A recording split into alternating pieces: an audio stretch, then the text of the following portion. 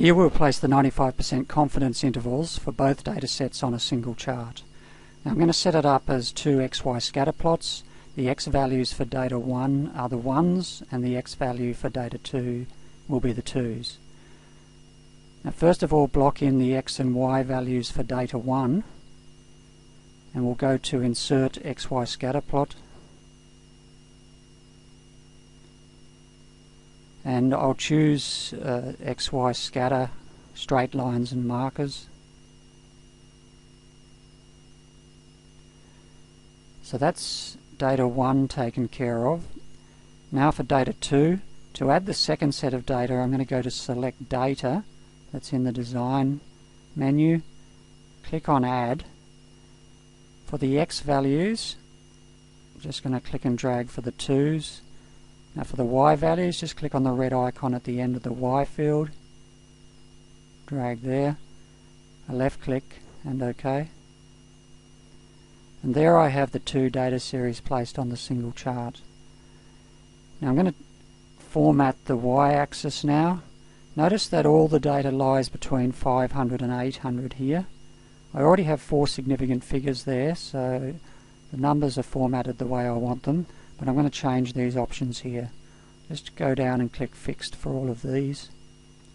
We'll set the minimum value for 500 milligrams and the maximum value is 800 milligrams. All the numbers are going to go in jumps of 100 like so. I'm going to place some more grid lines associated with the vertical axis. So I'm going to add the minor grid lines and format these to dotted lines. So in line style, choose a solid line, and then in line style, we'll choose a dash.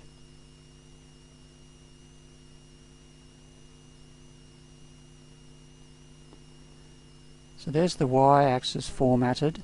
I'm now going to format the markers. I'm going to choose built-in markers. Now rather than having the squares, we're going to have the line markers. So point exactly at one of the markers, right click, go to Format Data Series, go to Marker Options, and change to this form. There are the two series formatted there. I'm going to remove the legend. Now in Layout, I'll add a chart title.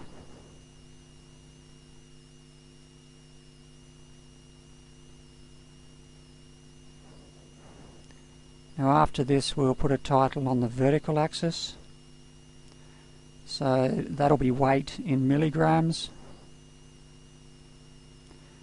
And we'll choose horizontal orientation for the vertical axis label.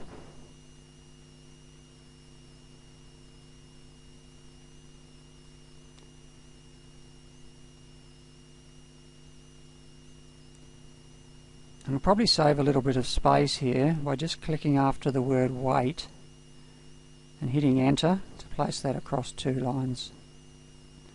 Next I'm going to format the horizontal axis. Now I need to get rid of all these numbers here because I'm just going to put labels along this horizontal axis. Now I'm going to set the major unit to 1 because I need tick marks at where the numbers 1 and 2 were and the axis labels I'll choose 0 that's just going to leave tick marks but no axis labels. Just highlight the plot area and that's a left click and a drag just to make a little bit of room down the bottom there. Now to place two text boxes. First one we'll call data 1 and the next one we'll call data 2 so go into layout, choose text box. And this one is data 2. Notice the overlap between the blue and red lines. This means that at the 95% confidence level we do not have significant evidence that the population means are different.